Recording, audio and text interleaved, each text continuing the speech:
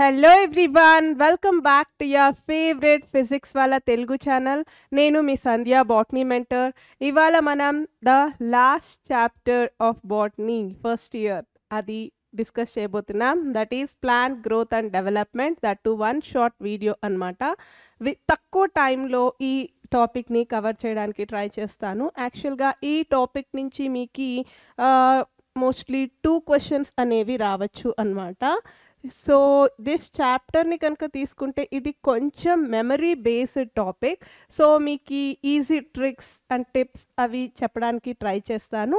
Along with the py cues ఎటువంటి py cues అడుగుతారు అనేది తెలుసుకుంటూ మనం ఈ చాప్టర్ని డిస్కస్ చేయబోతూ ఉన్నాం. సో ఎలా ఉన్నారందరూ బాగా చదువుతున్నారని ఎక్స్పెక్ట్ చేస్తున్నాను don't waste your time study well and sometimes you can play also okay so ఇప్పుడు స్టార్ట్ చేద్దాం మనం. ప్లాంట్ గ్రోత్ అండ్ డెవలప్మెంట్ మన టార్గెట్ వచ్చి ఫుల్ చాప్టర్ యాక్చువల్గా సో ప్లాంట్ గ్రోత్ గురించి తెలుసుకుంటాం డెవలప్మెంట్ గురించి తెలుసుకుంటాం ప్లాంట్ గ్రోత్ రెగ్యులేటర్స్ గురించి తెలుసుకుంటాం ఇంకా డార్మెన్సీ ఫోటోపిరియాడిజం ఈ చాప్టర్లో యాక్చువల్గా ఒక టాపిక్ అనేది డిలీట్ అయింది. So the deleted topic is vernalization అనమాట డార్మెన్సీ ఫోటోపీరియాడిజం కూడా డిలీట్ అనే చెప్పారు ఈ కొత్త నీ ట్వంటీ ట్వంటీ ఫోర్ వారికి. కాకపోతే ఈ డార్మెన్సీ ఫోటోపీరియాడిజం మీకు వేరే చాప్టర్స్లో అంటే ఇట్ ఈస్ ఇంటర్ లింక్డ్ కాబట్టి మీరు అవి రెండు అయితే చదువుకోవాలి. వర్నలైజేషన్ ఈస్ డిలీటెడ్ అనమాట వర్నలైజేషన్ అనేది టాపిక్ అనేది మీకు లేదు. It is deleted okay so అది చదువుకోవాల్సిన అవసరం లేదు. మామూలుగా అయితే ముందు ఈ వర్నలైజేషన్ అనేది చాలా ఇంపార్టెంట్ టాపిక్ కానీ ఇప్పుడు మీకు అది డిలీట్ చేశారు. ఓకే సో నా letter start development that is plant growth and development. So మన ప్లాంట్ని తీసుకున్నాం అనుకోండి ప్లాంట్ ఎలా గ్రో అవుతుంది? మనకు తెలుసు it will start from the seed. సీడ్ని కనుక తీసుకుంటే ఒక చిన్న సీడ్ నుంచి మనకి ప్లాంట్ అనేది ఫామ్ అవుతుంది. అవునా కాదా? సీడ్ని ఎప్పుడైతే మనం సాయిల్లో సో చేస్తామో అప్పుడు there will be the development of root system అనేది డెవలప్ అవుతుంది కింద సాయిల్లో. Okay development of root system and then there will be the development of first మనకి కాటిలిడన్స్ అనేవి వస్తాయి. ఆ కాటిలిడన్స్ నుంచి there will be the development of shoot system అనేది జరుగుతుంది. సో ఈ పైన జరిగే దాన్ని మనం ఏమంటాము? We will call this as యాక్చువల్గా ఇవి అయితే కాటిలిడన్స్ అది మనకి లోయర్ క్లాసెస్లో కూడా ఇది తెలుసు. ఈ కొటిలిడన్స్కి పైన ఉంటే దాన్ని ఎపికొటాయిల్ అంటాము. రీజన్ కింద ఉంటే దాన్ని హైపోకొటాయిల్ అని చెప్తాము అన్నమాట. ఓకే. సో ప్లాంట్ అనేది ఎలా డెవలప్ అవుతుంది అంటే మనకు అందరికీ తెలుసు it is from the starting is the seed అని చెప్పి ఇంకా స్టార్టింగ్ తీసుకుంటే ఫ్రమ్ ద జైగోట్ ఎంబ్రియో అదంతా అనమాట సో సీడ్ నుంచి formation of root system formation of shoot system ఇదంతా ఇంకా లేటరల్ బ్రాంచెస్ ఫ్లవర్స్ ఫ్రూట్స్ ఇవన్నీ ఫామ్ అవుతాయి కదా. సో దాన్నే మనం ప్లాంట్ యొక్క గ్రోత్ అండ్ డెవలప్మెంట్ అని చెప్తామన్నమాట. ఈ డెవలప్మెంట్ని కనుక తీసుకుంటే you can differentiate this into its a sum of two processes అని చెప్పచ్చు. Development is the sum of two processes ఏ ఏ ప్రాసెసెస్ మీరే గుర్తు చేసుకోండి ఏ ఏ ప్రాసెసెస్ ఉంటాయి? So one is the growth. Growth అనేది జరగాలి. జస్ట్ గ్రో అవ్వడమే కాకుండా ఇక్కడ మనకి ఏమేమి వచ్చాయి? సీడ్ నుంచి లీవ్స్ వచ్చాయి ఆ తర్వాత ఫ్లవర్స్ ఫ్రూట్స్ ఇవన్నీ వస్తాయి కదా. అంటే it is the cells are getting differentiated అనమాట సో మనకి సెల్ చాప్టర్లో ఏం తెలుసుకున్నాం? ఒక సెల్ అనేది మైటోసిస్ జరుగుతూ డివైడ్ అవుతూ పోతూ ఉంటుంది. కానీ జస్ట్ డివైడ్ అవుతూ పోతూ ఉందనుకోండి సపరేట్ టిష్యూస్ అంటే స్పెసిఫిక్ ఫంక్షన్స్ అవన్నీ ఫామ్ అవ్వవు కదా. So those cells needs to be differentiated. So డెవలప్మెంట్కి ఏమేం కావాలి? Development it is the sum of two processes. One is growth and another one is differentiation అనమాట డిఫరెన్షియేషన్ ఎందుకు? మనకి ఇక్కడ first there will be the formation of leaves ఇట్లా okay leaves form అవుతాయి. ఇంకా ఏం జరుగుతుంది? There will be the branch formation ఈ బ్రాంచ్కి మళ్ళీ లీవ్స్ అనేది ఇట్లా ఫామ్ అవుతుంది. ఇంకా there will be the formation of flower okay ఈ ఫ్లవర్ ఇవంతా ఫామ్ అవ్వాలి కదా. ఇంకా కింద తీసుకుంటే రూట్ సిస్టమ్ అంతా డెవలప్ అవ్వాలి రూట్ హెయిర్స్ ఇదంతా. సో మనకి ఏంటి ఇక్కడ డెవలప్మెంట్ ఇన్ ప్లాంట్ని కనుక తీసుకుంటే గ్రోత్ అండ్ డిఫరెన్షియేషన్ రెండు అవసరం అన్నమాట. It's the sum of two processes అదే చూపించారు మీ ఎన్సీఈఆర్టీ టెక్స్ట్ బుక్లో so the same thing which I have shown so ఇక్కడ కాటిలిడన్ నుంచి మీకు హైపోకొటైల్ బిలో ద కాటిలిడన్ని హైపోకొటైల్ అంటాం అబౌవ్ ద కాటిలిడన్ని ఎపికొటైల్ అంటాం అనమాట సో ఈ ఎపికొటైల్ హర్క్ ఈ సీడ్ కోట్ అనేది బ్రేక్ అయ్యి మనకి కాటిలిడన్స్ అనేవి వస్తాయి. ఆ కాటిలిడన్స్ పైన ఉన్నది ఎపికొటైల్. దాని నుంచి షూట్ సిస్టమ్ అనేది డెవలప్ అవుతుంది. హైపోకొటైల్ నుంచి రూట్ సిస్టమ్ అనేది డెవలప్ అవుతుంది. సో ఇదే germination and seedling of plant. ఇది లోయర్ క్లాసెస్లో కూడా మీకు తెలుసు. So that is nothing but development. ఇప్పుడు గ్రోత్ అంటే ఏంటో చూద్దాం. గ్రోత్ అనేది కూడా మనం ఆల్రెడీ లివింగ్ వరల్డ్ చాప్టర్లో క్లియర్గా ఎక్స్ప్లెయిన్ చేశాను. కావాలంటే లివింగ్ వరల్డ్కి వెళ్ళి చూడొచ్చు. మనం గ్రోత్ అంటే ఏంటి? It is an irreversible increase in mass అనమాట ఒక సెల్ని కనుక తీసుకున్నారనుకోండి ఆ సెల్ నుంచి ఆ సెల్ ఇంక్రీజ్ అవుతుంది. Increase in mass first. First సెల్లో ఉన్న సైటోప్లాజం అనేది ఎక్కువ అయిపోతుంది. ప్రోటోప్లాజం అని చెప్తాం కదా. దా దాని వలన సెల్ సైజ్ అనేది ఇంక్రీజ్ అవుతుంది. సో గ్రోత్ అంటే it's irreversible and permanent increase ఏం చెప్పాలి మీరు? It is a permanent increase అనమాట and it is irreversible in size of an organ ఏదైనా ఆర్గన్ తీసుకుంటే ఆ సైజ్ ఆఫ్ ఆర్గన్ ఇంక్రీజ్ అయిపోతుంది. లేదా ఇట్స్ పార్ట్స్ ఇంకా even and individual cell individual cell అంటే ప్రోటోప్లాజం యొక్క డెవలప్మెంట్ అనమాట ఓకే సో ఈ గ్రోత్ అనేది మనం మెజర్ చేయొచ్చా? మీరే ఆలోచించండి. గ్రోత్ని మెజర్ చేయొచ్చా అంటే ఇప్పుడు ఒక స్టెమ్ తీసుకున్నాం అనుకోండి ఇది ఒక స్టెమ్ అనుకోండి ఇంత ఉండే స్టెమ్ అనేది ఇంత పెరుగుతుంది. So you can measure the growth with the help of height అది దాంతో కూడా మెజర్ చేయొచ్చు. కానీ సెల్ ఎప్పుడైతే డివైడ్ అవుతుంది సెల్ ఎప్పుడైతే సైజ్ ఇంక్రీజ్ అవుతుందో మీరు కనుక్కోగలరా? అంటే ప్రోటోప్లాజం కంటెంట్ని మీరు మెజర్ అనేది చేయలేరు.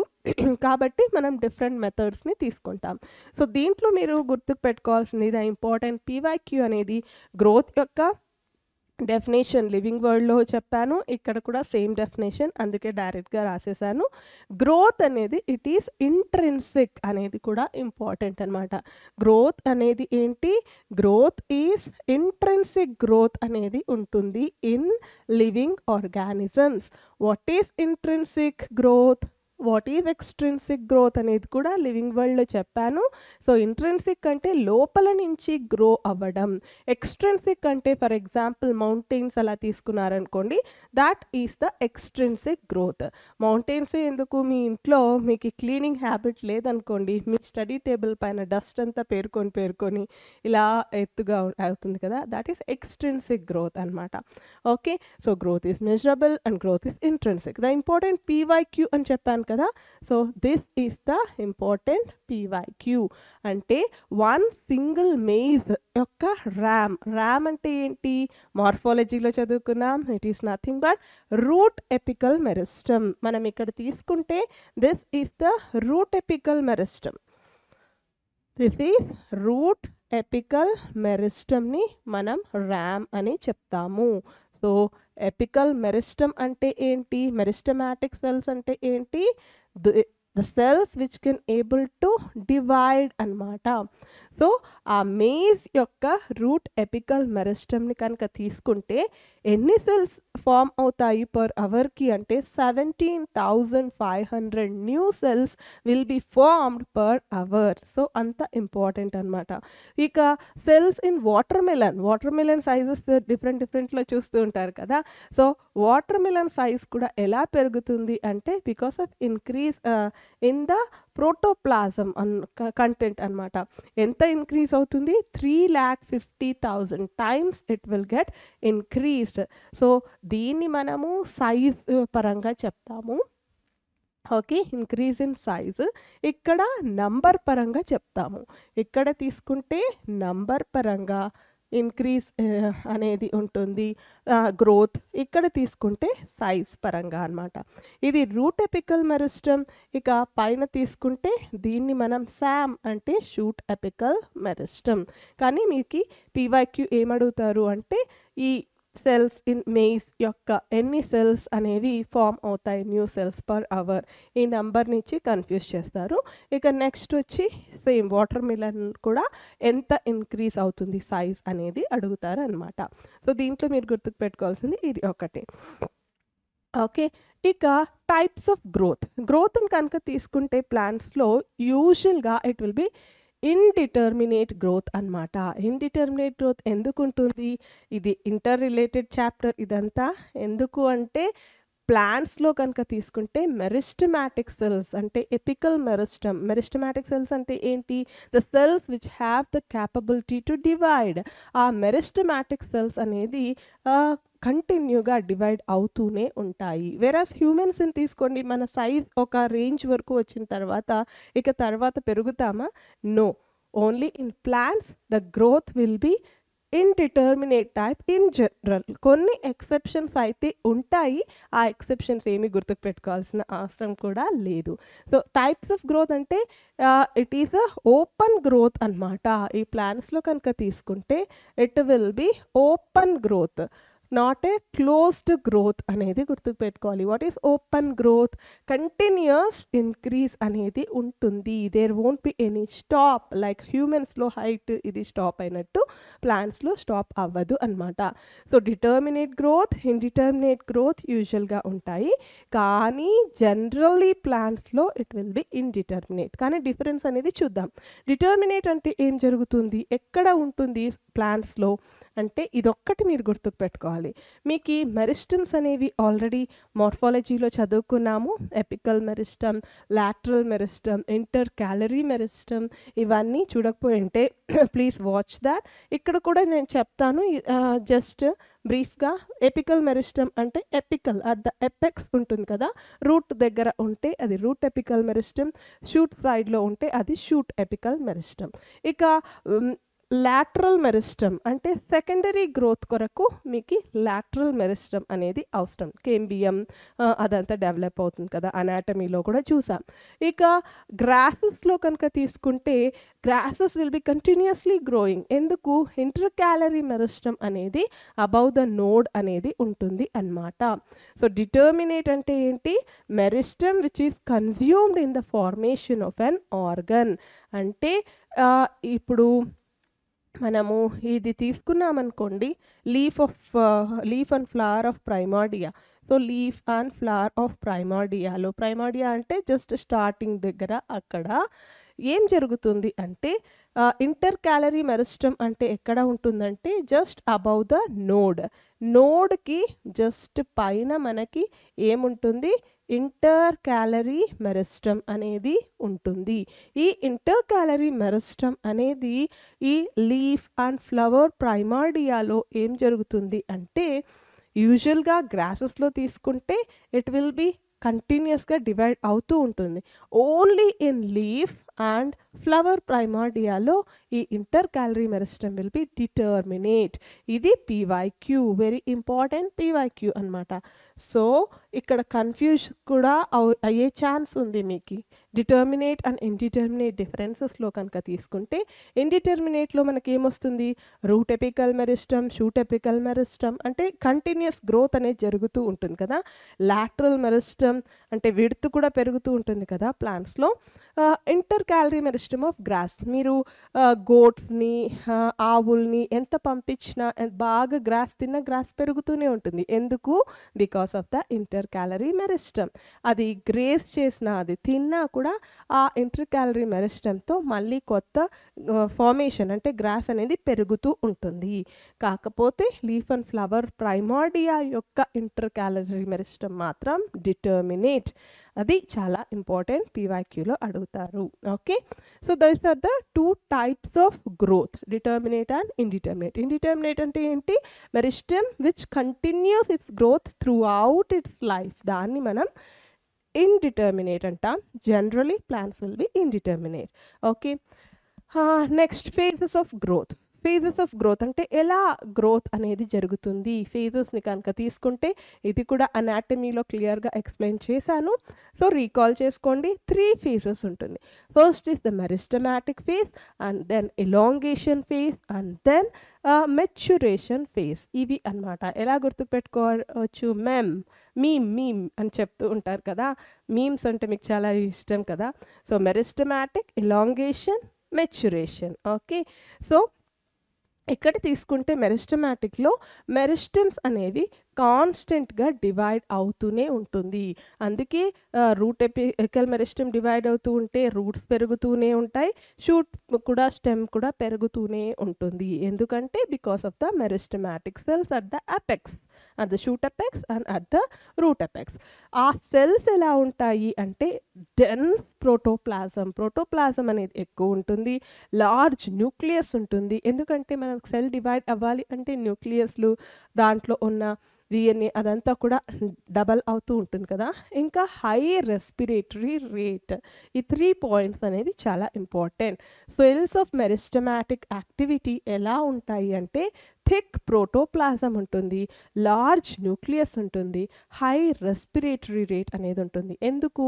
రెస్పిరేషన్ ఎంత బాగా జరిగితే అప్పుడే కదా మనకి మెటబాలిజం అనేది ఇంక్రీజ్ అయ్యేది. What is metabolism sum of catabolism and anabolism అది ఇంక్రీజ్ అయ్యే కోసం రెస్పిరేటరీ రేట్ కూడా చాలా హైగా ఉంటుంది ఈ మెరిస్టమాటిక్ ఫేస్లో అదే కనుక నెక్స్ట్ ఫేజ్ వచ్చి ఇలాంగేషన్ ఫేజ్ ఈ మెరిస్టమాటిక్ సెల్స్ డివైడ్ అవుతూ పోతూ ఉంటే ఇలా మనకి ఈ మెరిస్టమాటిక్ సెల్స్ డివైడ్ అవుతూ పోతుంటే ఎలాంగేట్ అవుతూ ఉంటుంది అన్నమాట. సో గ్రోత్ అనేది జరుగుతూ ఉంటే ఎలాంగేట్ అనేది జరుగుతుంది కదా. సో ఇంక్రీస్డ్ వ్యాక్యులేషన్ ఇక్కడ వ్యాక్యూల్ అనేది చాలా పెరుగుతుంది. వాట్ ఈస్ వ్యాక్యూల్ సెల్ చాప్టర్లో క్లియర్గా చూడండి. సెల్ కూడా ఎన్లార్జ్ అవుతుంది సైజులో అలా. అప్పుడే కదా it can able to divide cell డివిజన్లో చెప్పాను కదా మీకు సెల్ అనేది సైజ్ ఎక్కువ అయిన తర్వాతే డివైడ్ అవుతుంది. లేకపోతే సెల్ సైజ్ అనేది తగ్గుతూ పోతుంది. It should not happen like that ఈక్వల్గా ఉండాలి అంటే first cell has to duplicate double అవ్వాలి. Then it will divides by mitosis ఇంకా సెల్ ఎన్లార్జ్మెంట్ తర్వాత న్యూ సెల్ వాల్ డెపాజిషన్ కూడా జరుగుతుంది ఈ ఎలాంగేషన్ ఫేజ్లో తర్వాత మెచ్యురేషన్ ఫేజ్ ఇక్కడ దీన్ని ఏం చెప్తాము? మెచ్యురేషన్ని మనం డిఫరెన్షియేషన్ అని కూడా చెప్తాము. అదే చెప్పాను కదా లీఫ్గా ఫ్లవర్గా ఫ్రూట్గా డిఫరెన్షియేట్ అవ్వాలి కదా ఆ డిఫరెన్షియేషన్ అనేది ఈ మెచ్యురేషన్ ఫేజ్లో జరుగుతుంది అన్నమాట. సో ఇక్కడ ఏం జరుగుతుంది? థిక్కెనింగ్ ఆఫ్ సెల్ వాల్ అనేది జరుగుతుంది. మ్యాక్సిమం సైజ్ ఈ మెచ్యురేషన్లో ద సైజ్ అనేది మ్యాక్సిమంగా అయిపోతుంది. ఇంకా స్ట్రక్చరల్ డిఫరెన్షియేషన్ ఆఫ్ సెల్స్ అనేది జరుగుతుంది.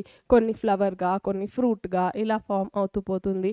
ఇంకా ప్రతి దానికి పర్టికులర్ ఫంక్షన్ అనేది ఉంటుంది. ఇక్కడ కనుక ఎగ్జాంపుల్ని కనుక తీసుకుంటే క్లోరోప్లాస్ట్ని తీసుకున్నాం అనుకోండి. What is its function it is chloroplast cell తీసుకుంటే for the sake of photosynthesis specific function ఇక mitochondria తీసుకున్నారనుకోండి. Mitochondria is for the sake of respiration అది ఒక specific function so three phases అనేది ఉంటుంది. ఇక్కడ తీసుకుంటే మనకి మీ టెక్స్ట్ బుక్లో ఇచ్చారు కదా? So first there will be the zygote single cell a living organism అయినా దేని నుంచి దాని స్టార్టింగ్ ఏంటి అంటే it's a single cell zygote ఇది మనకి అందరికీ తెలుసు. సో ఆ జైగోట్ అనేది డివైడ్ అవ్వడం స్టార్ట్ అవుతుంది. సో ఎలా వన్ నుంచి two two to four four to eight mitotic division చూసాం కదా సెల్ డివిజన్లో అలా జరుగుతూ పోతుంది.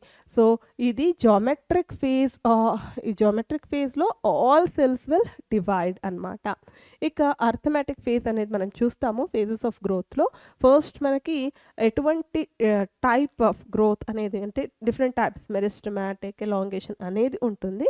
సో ఈ అరిథమాటిక్ అండ్ జామెట్రిక్ అనేది మనం ఇప్పుడు తెలుసుకుంటాం అనమాట సో అరిథమాటిక్ అండ్ జామెట్రిక్ యొక్క డిఫరెన్స్ ఏంటి అంటే గ్రోత్ రేట్స్లో మనం చూస్తాము. So what is growth rate ఏదైనా ఇంక్రీజ్ అయ్యిందనుకోండి ఇంత నుంచి ఇంత ఇంక్రీజ్ అయింది ఆఫ్టర్ సమ్ టైమ్ అనే దాన్ని గ్రోత్ రేట్ అని చెప్తాం. Increased growth per unit time అంటే ట్వంటీ ట్వంటీలో ఇంత ఉంది ట్వంటీ ట్వంటీ టూకి ఇంత పెద్దగా అయిపోయింది. సో ఆఫ్టర్ టైం అనే దాన్ని మనం గ్రోత్ రేట్ అని చెప్తాం. సో టూ ఫేజెస్ అన్నాం కదా one is geometric and another one is arithmetic phase. So arithmetic ఫీజ్లో ఏం జరుగుతుంది అంటే ఇక్కడ తీసుకుంటే మీరు సెల్ని తీసుకోవచ్చు. ఓకే? ఈ సెల్ అనేది ఉంటుంది కదా ఈ cell will starts to divide అనమాట సో ఇది ఎప్పుడైతే ఇలా డివైడ్ అయ్యిందో టూ సెల్స్గా ఒక సెల్ మాత్రం it will lost its meristematic activity అంటే ఈ సెల్ అనేది ఇక డిఫరెన్షియేట్ అవ్వదు. ఓకే? అంటే పర్మనెంట్ సెల్గా కాకోకుండా it can able to form అంటే మళ్ళీ డివైడ్ అయ్యే క్యాపబిలిటీ అనేది ఉంటుంది. అంటే ఫర్ ఎగ్జాంపుల్ ఈ అర్థమాటిక్లో ఈ సెల్ ఎప్పుడైతే వన్ నుంచి టూగా డివైడ్ అవుతుంది కదా మళ్ళీ ఇది అనేది ఇక ఫర్దర్ డివిజన్ అనేది జరగదు స్పెసిఫిక్ ఫంక్షన్కి అలాగా.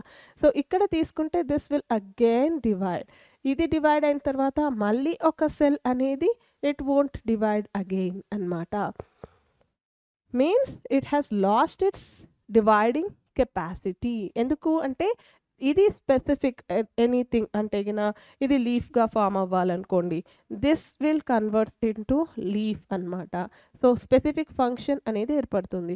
This will converts into flower flower యొక్క థింగ్ అలా డివైడ్ అవుతూ పోతూ ఉండేదాన్ని అరిథమెటిక్ అని చెప్తాము. ఓకే సో ఈ అర్థమెటిక్లో కనుక తీసుకుంటే మీ టెక్స్ట్ బుక్లో ఇచ్చింది అదే అనమాట ఒక సెల్ నుంచి మీకు ఫస్ట్ టూ సెల్స్ అనేది వస్తుంది. ఒక సెల్ అనేది it has lost its dividing capability అంటే మెరిస్టమాటిక్ యాక్టివిటీ అక్కడ స్టాప్ అవుతుంది. ఎందుకు?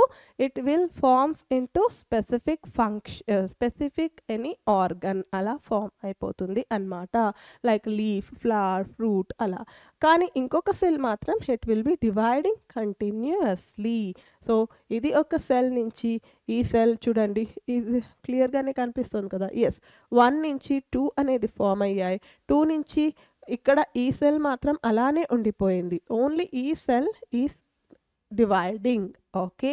సో మనకి అర్థమెటిక్లో కనుక తీసుకుంటే ఫార్ములా ఏంటి ఈ అర్థమెటిక్లో అంటే LT equals okay. LT equals L zero plus RT అంటే ఇక్కడ వాట్ ఈస్ ఎల్టీ ఎల్టీ అంటే length after some time okay. Some time తర్వాత దాని లెంత్ అనేది ఎంత ఉంది అనేది ఎల్టీ ఎల్ జీరో అంటే లెంత్ ఇనిషియలీ ఇనిషియల్గా ఎంత లెంత్ ఉంది? ఆర్ వచ్చి it is the growth rate okay and T వచ్చి it is the time T అంటే ఇట్ ఈస్ ద టైమ్ అనమాట సో ఇలా అరిథమెటిక్ది క్యాలిక్యులేట్ చేయవచ్చు. అంటే ఇక్కడ ఏం జరుగుతుంది? గ్రాఫ్ను కనుక తీసుకుంటే ఇక్కడ వన్ సెల్ అనేది ఇలా డివైడ్ అవుతుంది. ఒక సెల్ మాత్రం it will becomes what it will becomes into అంటే ఇక్కడ డిఫరెన్షియేట్ uh, అయిపోయి ఉంటుందన్నమాట. ఇట్ వోంట్ డివైడ్ అగైన్ అదే కనుక ఇంకొక cell it will starts to divide అంటే ఇక్కడ ఇంకొక సెల్ అనేది ఏం జరుగుతుంది? ఈ సెల్ అనేది డివైడ్ అవుతుంది. మళ్ళీ ఇది స్టాప్ అయిపోతుంది. మళ్ళీ ఈ సెల్ మాత్రమే డివైడ్ అవుతుంది. ఇది స్టాప్ అయిపోతుంది. ఇలా కంటిన్యూగా జరుగుతూ ఉంటుంది. ఓకే ఈ దీన్నే మనం అరిథమెటిక్ అంటే ఇక్కడ కంటిన్యూస్ ఇంక్రీజ్ అనేది జరుగుతూ ఉంది కదా. సో దీన్నే మనం అరిథమెటిక్ అని చెప్తాము. సో ఇక్కడ తీసుకుంటే కాన్స్టెంట్ లీనియర్ గ్రోత్ అనేది వస్తుంది. ప్లాట్ దేనికి దేనికి వేశారు? Time they have taken time into the consideration and height of the plant length అని చెప్పాను నేను. అదే ఇక్కడ హైట్ అనేది తీసుకున్నారు. హైట్ ఆఫ్ ద ప్లాంట్ ఎలా ఉంటుంది?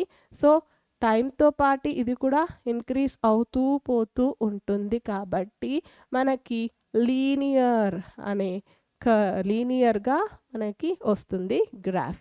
సో ఇది అరిథమెటిక్ గ్రోత్ అనమాట అదే కనుక మీరు జామెట్రిక్ గ్రోత్ తీసుకున్నారనుకోండి ఇక్కడ సెల్స్ అనేవి divide normally it will be dividing అంటే ఇక్కడ తీసుకుంటే ఒక సెల్ ఉందనుకోండి టూ సెల్స్గా ఫామ్ అవుతుంది. ఈ cell again it will forms into two ఈ సెల్ ఇంటూ టూ ఇలా కంటిన్యూస్ డివిజన్ అనేది మనం చూస్తాము. దేంట్లో? జొమెట్రిక్ గ్రోత్లో అర్థమెటిక్లో ఏం జరుగుతుంది? ఒక సెల్ అనేది it has lost its property ఇక్కడ మీకు ఇలా కంటిన్యూస్ మోర్ సెల్స్ అనేది ఫామ్ అవుతుంది. ఓకే. ఇక ఇలా ఎన్నైనా వేసుకోవచ్చు మీరు. So there will be the formation of more cells అంటే ఇక్కడ ఎక్స్పోనెన్షియల్ ఫామ్లో అవుతుంది. అంటే ఏం జరుగుతుంది? One cell is forming into two two into four four into eight four eight sixteen sixteen అనేది థర్టీ టూ అంటే వన్ అనేది ఇక్కడ టూ స్క్వేర్ తర్వాత two cube two to the power of four two to the power of five. ఇలా exponent ఫామ్లో form అవుతూ ఉంది కాబట్టి దీన్ని మనం ఎక్స్పోనెన్షియల్ గ్రోత్ అని కూడా చెప్పచ్చు లేదా జొమెట్రిక్ గ్రోత్ అని కూడా చెప్పచ్చు. ఇక్కడ తీసుకుంటే ఇనిషియల్గా ఏం జరుగుతుంది అంటే సెల్ డివైడ్ అవ్వాలి అంటే మనం సెల్ సైకిల్ అండ్ సెల్ డివిజన్లో చదువుకున్నాం కదా ఇనీషియల్గా it has to prepare. What is that preparatory phase called as it is called as interphase అనమాట యాక్చువల్ ఫేజ్ డివైడింగ్ ఫేజ్ వచ్చి మెటా ఫేజ్ సో ప్రిపరేటరీ ఫేజ్కి కొద్దిగా టైం కావాలి కాబట్టి ఇనిషియల్గా it will lag for some time ఆ తర్వాత ఎప్పుడైతే ప్రిపరేషన్ అంతా రెడీగా ఉందో the cell will starts to divide continuously అప్పుడు ఎక్స్పోనెన్షియల్ ఫేజ్ అనేది వస్తుంది. ఆ తర్వాత ప్లాంట్కి ఏమేమి కావాలి? ప్లాంట్కి టెంపరేచర్ వాటర్ ఇవన్నీ అవైలబుల్గా ఉండాలి. ఒకవేళ ఆ అవైలబిలిటీ అనేది తగ్గిపోయింది అనుకోండి అప్పుడు ఏం జరుగుతుంది? మనకి ఆక్సిజన్ ఇంకా carbon dioxide water temperature sunlight ఇవన్నీ కావాలి కదా. సో ఆ ఫేవరబుల్ కండిషన్స్ ఒకవేళ లేకపోతే అప్పుడు ఏం జరుగుతుంది? It will the growth rate అనేది స్టేషనరీ ఇట్ విల్ స్టాప్స్ అనమాట న్యూట్రియంట్స్ అవన్నీ తగ్గిపోతే స్టేషనరీ అయిపోతుంది. అందుకే ఈ కర్వ్ ఎలా వస్తుంది? మనకి in geometric growth it will be sigmoid curve or S shaped curve అని చెప్పచ్చు. ఎందుకు? ఇనీషియల్గా సారీ ఇనీషియల్గా ప్రిపరేషన్ కోసం it will need some time అప్పుడు డివిజన్ అనేది జరగదు కాబట్టి it will lag for some time ఎప్పుడైతే ప్రిపరేషన్ అంతా సెట్ అయిపోయిందో it will exponents and exponential phase అని ఎందుకు చెప్పాము? ఇట్ విల్ బి మోర్ అంటే ఒక్కొక్కసారి డివిజన్ జరిగినప్పుడు ఇలా ఎక్కువగా జరుగుతూ ఉంటుంది. So these are the two different rules. Geometric రేట్లో కనుక తీసుకుంటే మనకి ఏం చెప్తాం? ఇక్కడ ఎక్స్పోనెన్షియల్ అని కూడా చెప్తాము. ఇక్కడ సెల్స్ ఎలా డివైడ్ అవుతున్నాయి? ఒక సెల్ నుంచి మనకి టూ సెల్స్ వస్తాయి. Again two cells. అంటే రెండు సెల్స్ ఇక్కడ డివైడ్ అనేది జరుగుతోంది. ఇలా కంటిన్యూస్గా. వేరాస్ అరిథమెటిక్లో ఒక సెల్ అనేది specific organ form అయ్యేందుకోసం it will stop its division అనమాట రిటైన్స్ ఇట్స్ మెరిస్టమాటిక్ యాక్టివిటీ కూడా. ఇక్కడ ఫార్ములా కనుక తీసుకుంటే మనకి W one is equals to W naught e to the power of RT exponential అని చెప్పాం కదా అందుకు ఈ అనేది తీసుకున్నారనమాట సో డబ్ల్యూ జీరో అంటే it is the initially initial phase W one అంటే ఆఫ్టర్ సమ్ టైమ్ అనేది తీసుకుంటే డబ్ల్యూ వన్ అనేది వస్తుంది. ఇక e is the exponents okay exponential form and then r మనకు తెలుసు. It is the growth rate only and then t వచ్చి మనకి time okay it will be in the form of exponents మీరు గుర్తుకు పెట్టుకోవాల్సింది the graph and the formula అనమాట అర్థమైందనుకుంటా? అరిథమెటిక్కి ఎక్స్పొనెన్షియల్కి. అర్థమెటిక్కి ఇట్ విల్ బి లీనియర్. ఎందుకు? ఇట్ ఇలానే కంటిన్యూగా అవుతూ ఉంటుంది. మీరు ఇక్కడ చూస్తే ఎలా జరుగుతుంది? Like this. So it will be linear. కానీ ఇక్కడ ఏం జరుగుతుంది? First initially it will be less మళ్ళీ ఎక్స్పోనెంట్ అవుతుంది మళ్ళీ స్టేషనరీ అయిపోతుంది. So it will be sigmoid curve అనమాట so this is about arithmetic and this is about geometric growth which is in exponential form next ఇక్కడ ఇంకొక important thing వచ్చి absolute growth rate and relative growth rate what is the difference Absolute growth rate అంటే ఇంతవరకు మనం ఏం తెలుసుకున్నామో అదే. Total growth per unit టైంని మనం అబ్జల్యూట్ గ్రోత్ రేట్ అంటాము which is nothing but AGR అదే కనుక రిలేటివ్ గ్రోత్ రేట్ అంటే ఏంటి? అబ్జల్యూట్ గ్రోత్ రేట్ బై మనం ఏం తీసుకుంటాం? Growth at the start of the time period into hundred ఇక్కడ మీ ఎన్సీఆర్టీలో టూ ఇచ్చారు. ఎలా క్యాలిక్యులేట్ చేస్తారు అంటే ఈ ఏది కనుక తీసుకున్నామనుకోండి ఏ యొక్క రిలేటివ్ గ్రోత్ రేట్ని తీసుకుంటే అబ్జల్యూట్ గ్రోత్ రేట్ అనేది ఎంత? ఎంత పెరిగింది మనకి? సో ఇక్కడి నుంచి ఇక్కడికి తీసుకుంటే ఫైవ్ సెంటీమీటర్స్ అనేది పెరిగింది. ఓకే? సో ఇనీషియల్గా it will be five. So ఇక్కడ తీసుకుంటే మనకి ఫైవ్ సెంటీమీటర్స్ పెరిగింది కాబట్టి we will take it as five by growth at the start of the time period starting ఎంత ఉంది? మనకి ఫైవ్ సెంటీమీటర్ స్క్వేర్ ఉంది. సో ఇంటూ హండ్రెడ్ కనుక చేస్తే మనకి ఏమొస్తుంది హండ్రెడ్ పర్సెంట్ అనేది గ్రోత్ అనేది ఇక్కడ మనం చూడొచ్చు. Okay? Where in the first kind of leaf. అంటే ఇనిషియల్లీ మనకి ఏం జరుగుతుంది? గ్రోత్ అనేది మనం ఎప్పుడైనా ప్లాంట్ చిన్న మొక్కని ఇంటికి తీసుకురండి. ఆ చిన్న మొక్క పెరిగేటప్పుడు లీఫ్ కూడా పెరిగేది మీరు చూడగలరు. కానీ ఒక రేంజ్ వరకు పెరిగిన తర్వాత మీరు అంత బాగా మీకు ఇంకా కనిపించదు. ఈ నెక్స్ట్ లీఫ్ని కనుక తీసుకుంటే that is B so absolute growth rate అంటే ఎంత పెరిగింది ఇక్కడ? ఇక్కడ కూడా ఇట్ ఈస్ ఫైవ్ సెంటీమీటర్సే పెరిగింది. ఓకే? సో ఫైవ్ సెంటీమీటర్స్ పెరిగింది కాబట్టి మనం ఏం తీసుకుంటాం? అబ్జల్యూట్ గ్రోత్ రేట్ వచ్చి వన్ సెకండ్. సో ఎంత పెరిగింది ఇక్కడ? ఇక్కడ కూడా మనకి ఫైవ్ సెంటీమీటర్సే పెరిగింది. సో మనం ఈ బీలో ఉన్న రిలేటివ్ గ్రోత్ రేట్ క్యాలిక్యులేట్ చేయాలంటే ఫైవ్ పెరిగింది. కాకపోతే ఇనీషియల్గా ఎంత ఉంది? Initially it is fifty centimeters. So fifty then into hundred. So ఇలా తీసుకుంటే మీకు క్యాలిక్యులేట్ చేస్తే ఎంత వస్తుంది? ఓన్లీ టెన్ పర్సెంట్ అనమాట so absolute growth rate same ఉన్నా కూడా relative growth rate will varies. ఎందుకు వేరీ అవుతుంది? మనకి తర్వాత ఇనీషియల్ గ్రోత్తో మనం తీసుకుంటాం కాబట్టి మనకి there will be variation definition అడుగుతారు అబ్సల్యూట్ గ్రోత్ రేట్కి ఇంకా రిలేటివ్ గ్రోత్ రేట్కి ఇలా డయాగ్రామ్ ఇచ్చి క్యాలిక్యులేట్ చేయమని అడుగుతారు.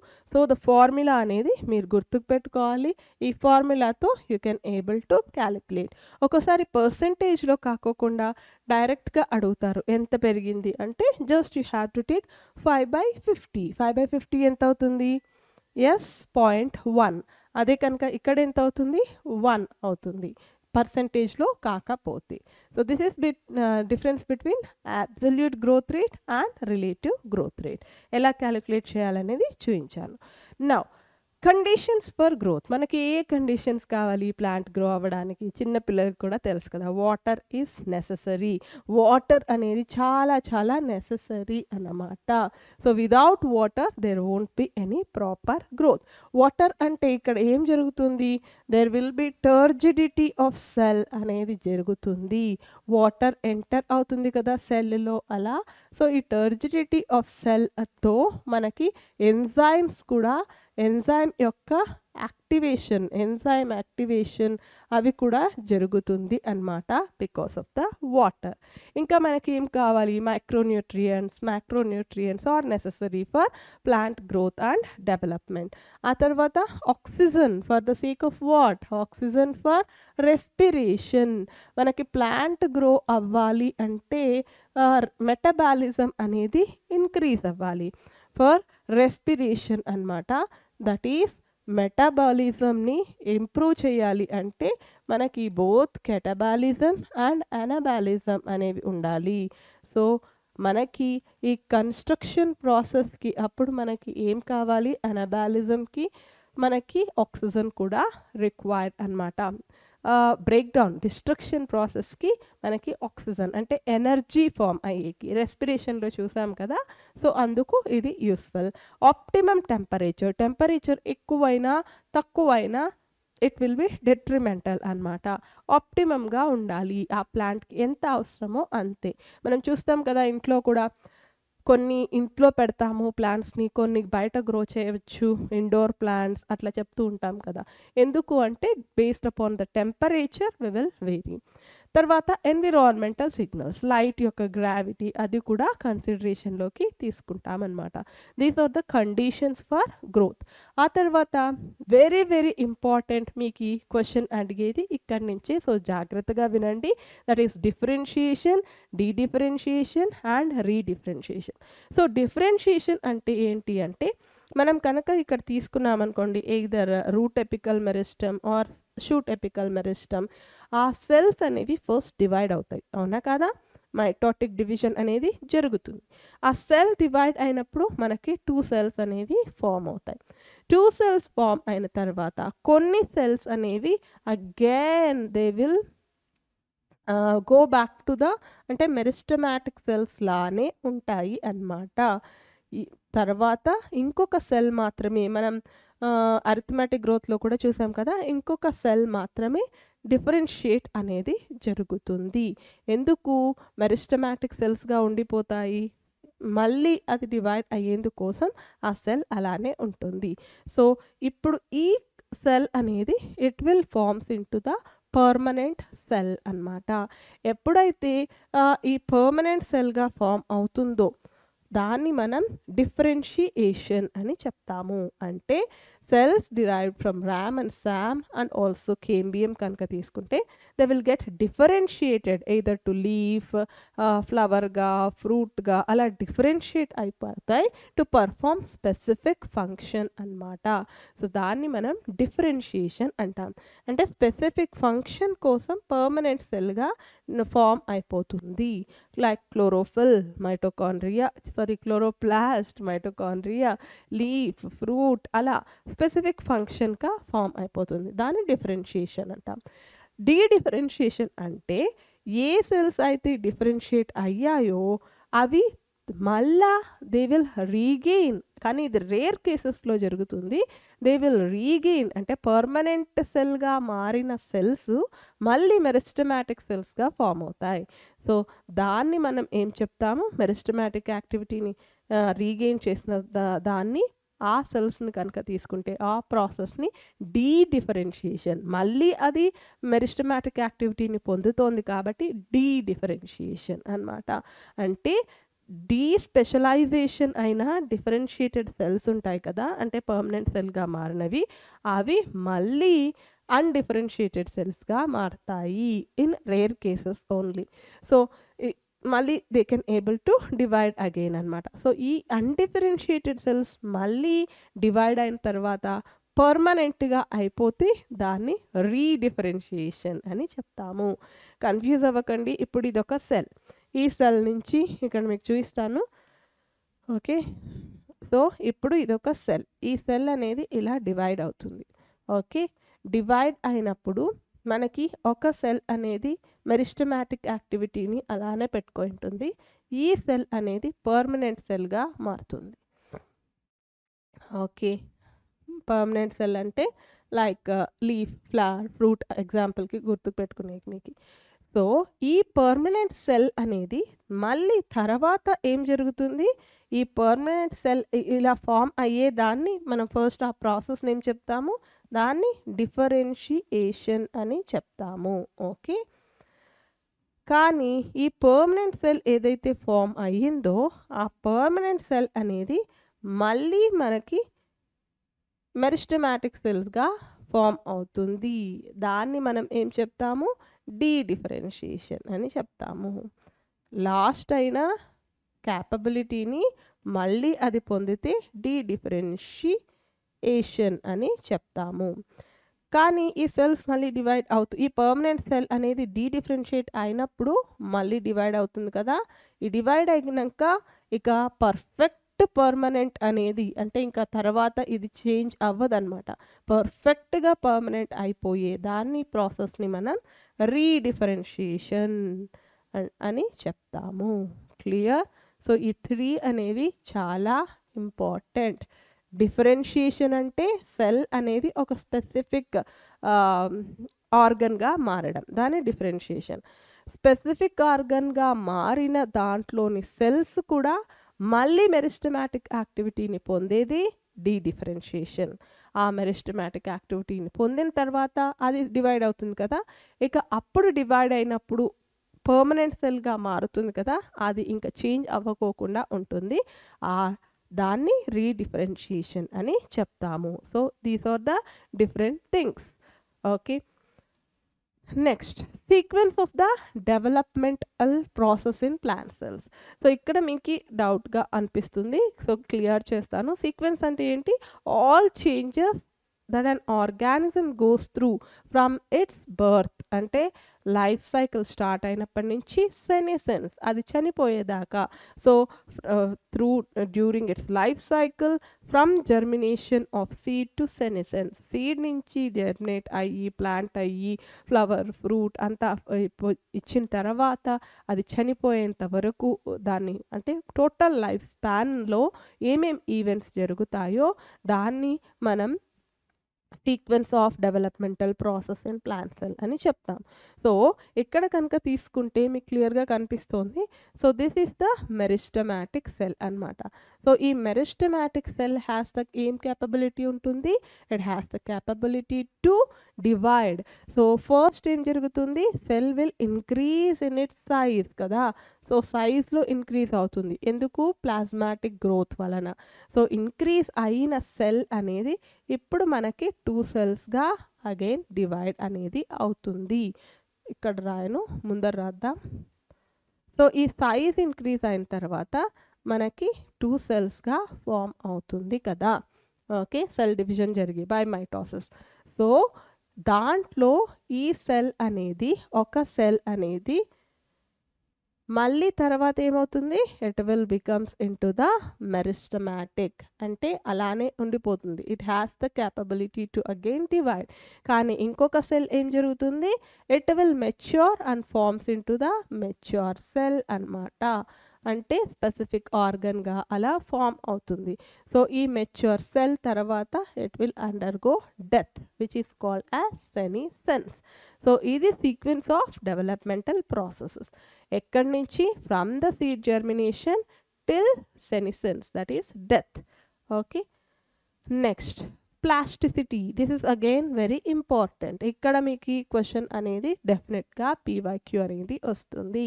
What is plasticity ability to change its structure అనమాట మీరు కొత్తిమీరని చూసి ఉంటారు కదా ఇంట్లో చూడకపోయి ఉంటే ఒలిచే ముందు చూడండి కొత్తిమీరని. కొన్ని లీవ్స్ స్మాల్గా ఉంటాయి కొన్ని లీవ్స్ వచ్చి పెద్దగా ఉంటాయి. లీఫ్లో సైజు ప్లస్ షేప్ కూడా వేరే ఉంటుంది. గమనించి చూడండి గమనించకపోయి ఉంటే.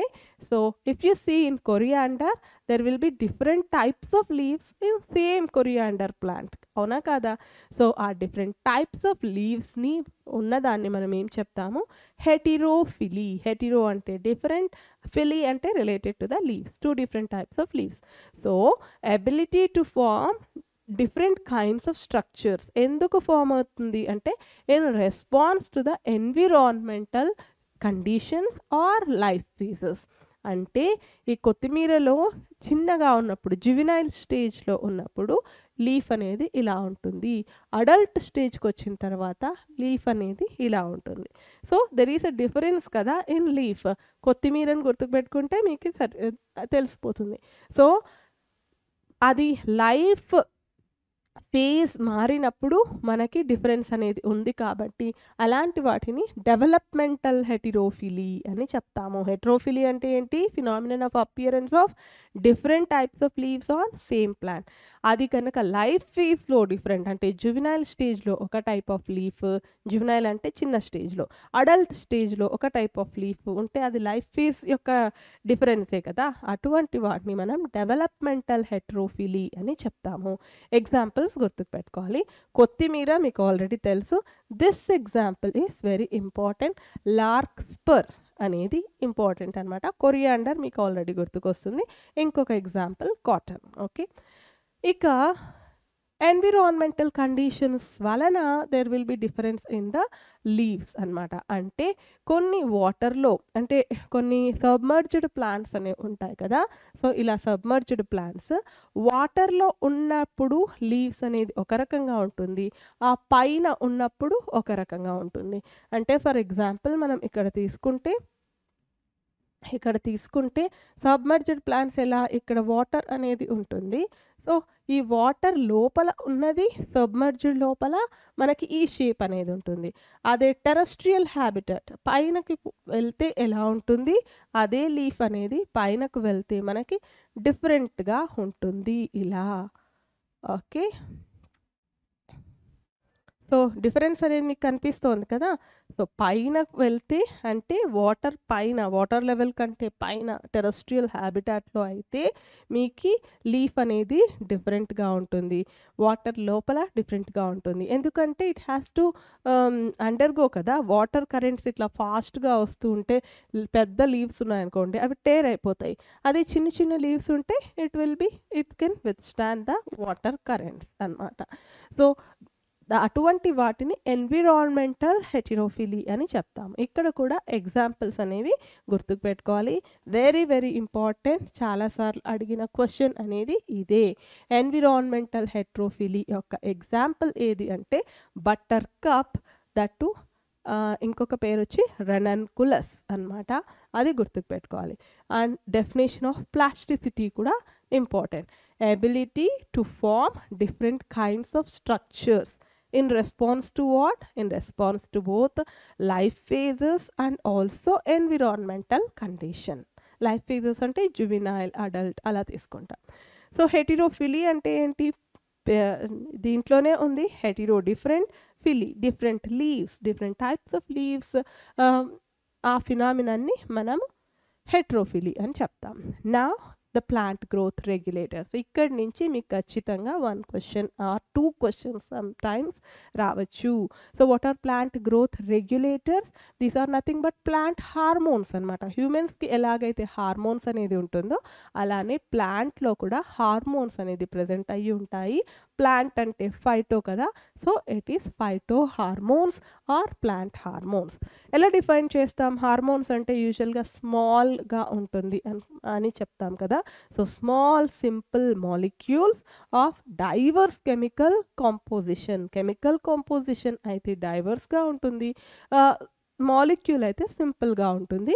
So small simple molecules of diverse chemical composition which regulate growth and differentiation మన చాప్టరే అదే కదా plant growth and development so ఈ డెవలప్మెంట్లో కనుక తీసుకుంటే it's sum of two processes growth and differentiation so మనం ఆ రెండిటిని రెగ్యులేట్ చేసేది ఏవి అంటే ప్లాంట్ గ్రోత్ రెగ్యులేటర్స్ ఆ plant growth regulators are two types again promote చేసేవి ఉంటాయి ఇన్హిబిట్ చేసేవి ఉంటాయి. కొన్ని ప్రమోట్ చేస్తాయి అంటే పెంపొందిస్తూ ఉంటాయి. కొన్ని చాలు ఇక ఈ రెగ్యులేట్ చెయ్యి అని చెప్పి ఇన్హిబిట్ చేస్తూ ఉంటాయి.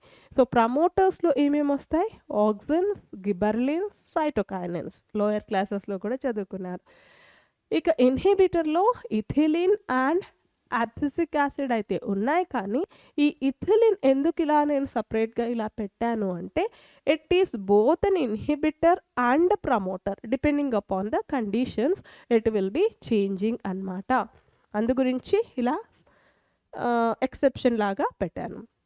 సో ఈ ప్లాంట్ గ్రోత్ రెగ్యులేటర్స్ అనేది ఒక ఎక్స్పెరిమెంట్ ద్వారా ఇక్కడ ఇంట్రెస్టింగ్ ఎక్స్పెరిమెంట్ ఏంటి అంటే ఆక్సిజన్ ఎలా ఐడెంటిఫై అయ్యింది అంటే డార్విన్ తర్వాత వాళ్ళ సన్ ఒకసారి గార్డెన్లో బయట కూర్చొని ఉన్నారనమాట కూర్చొని ఉండి అబ్జర్వ్ చేస్తూ ఉంటే ఒక చెట్టు ఇలా వంగి ఉందని.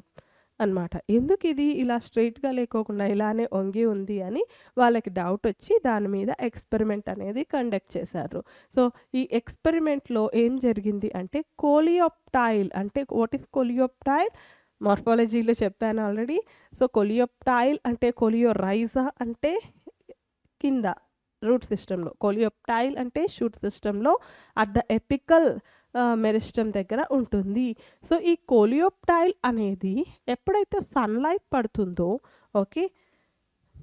సో ఈ ఇది ఇది అనుకోండి ఇలా ప్లాంట్. సో ఇక్కడ ఎపికల్ మెరిస్టంలో మనకి కోలియోప్టైల్ అనేది ఉంది. ఓకే? ఈ కోలియోప్టైల్ అనేది ఉంది. ఎప్పుడైతే సన్లైట్ అనేది దీనిపైన పడుతుందో ఓకే? సో సన్లైట్ ఈ కోలియోప్టైల్ పైన పడినప్పుడు మనకి ఏం జరుగుతుంది? ఆక్సిజన్ అనేది ఎక్కువగా ప్రొడ్యూస్ అవుతుంది. సో ఆక్సిజన్ ప్రొడ్యూస్ అవ్వడం వలన మనకి ఏం జరుగుతుంది? ఇటువైపు యొక్క సెల్స్ అనేవి ఫాస్ట్గా గ్రో అవుతాయి. వేరాస్ ఇక్కడ సెల్స్ అనేది సన్లైట్ పడట్లేదు కదా? So sunlight is not falling over here. So ఇక్కడ సెల్స్ అనేవి వెరీ స్మాల్గా ఉంటాయి అన్నమాట సో ఎక్కడ ఇటు సైడ్ ఇప్పుడు సెల్స్ బరువు ఎక్కువైంది అనుకోండి సెల్స్ బాగా లావుగా అయ్యి ఇటు సైడ్ సెల్స్ స్మాల్గా ఉన్నాయనుకోండి ఇలా వంగుతుందా లేదా? సో ఆ ఎక్స్పెరిమెంట్ ద్వారా ఆక్సిజన్స్ అనేది ఐడెంటిఫై చేయబడింది అంటే డిస్కవర్ చేయబడింది by Darwin Charles Darwin and also his son Francis Darwin. So ఇది ఏం జరుగుతుందంటే మనకి సన్లైట్ ఎప్పుడైతే ఈ కోలియోప్టైల్ పైన ఇలా పడుతూ ఉందో ఆ కోలియోప్టైల్ అనేది మనకి ఆక్సిజన్ని ప్రొడ్యూస్ చేస్తుంది. ఆక్సిజన్ ప్రొడ్యూస్ చేస్తే మనకి సెల్స్ అనేవి బాగా గ్రో అయిపోతాయి. ఇక్కడ ఆక్సిజన్ ప్రొడక్షన్ అనేది ఇక్కడ ఎక్కువగా ఉండటం వలన మనకి ఈడ గ్రోత్ అనేది ఎక్కువ ఉంది. ఇక్కడైతే గ్రోత్ అనేది తగ్గిపోయింది సెల్స్ అనేవి. సో అందు గురించి ఇలా వంగుతుందనమాట సో ఆ ఎక్స్పెరిమెంట్. ఇంకొకటి మీరు యూజువల్గా చూస్తారు మీ పేరెంట్స్ గార్డెనింగ్ ఇంట్రెస్ట్ ఉన్న వాళ్ళకి కూడా తెలుస్తుంది. చెట్టు ఇలా స్ట్రైట్గా పెరుగుతూ పోతూ ఉంటుంది. సో అప్పుడు ఏం చెప్తారు? పైన కొంచెం తుంచు అప్పుడు బ్రాంచెస్ వస్తాయి అని చెప్తారు. అవునా కదా? అదే ఇక్కడ apical dominance in plants. Apical dominance అంటే ఇలా స్ట్రైట్గా మొక్క పోతూ ఉందనుకోండి వీక్ తులసిని ఒక్కొక్కసారి చూడండి మీరు వీక్ అయినప్పుడు అది పడిపోయే ఛాన్స్ అట్లా ఉంటుంది. అదే మనకి పైన ఇలా తుంచమని చెప్తారు. తుంచితే ల్యాటరల్ బర్డ్స్ అనేది వస్తుంది. ఎపికల్ మెరిస్టమ్ కంటిన్యూగా గ్రో అవ్వకుండా పైన మనం ఇలా బ్రేక్ చేసినప్పుడు లాటరల్ మెరిస్టమ్ అనేది గ్రో అయ్యేకి స్టార్ట్ చేసి మనకి బ్రాంచెస్ అనేవి ఫామ్ అవుతాయి అన్నమాట. సో అదే చూపించారు ఇక్కడ. ఎపికల్ బర్డ్ ఉంటే ఇలానే గ్రో అవుతూ ఉంటుంది.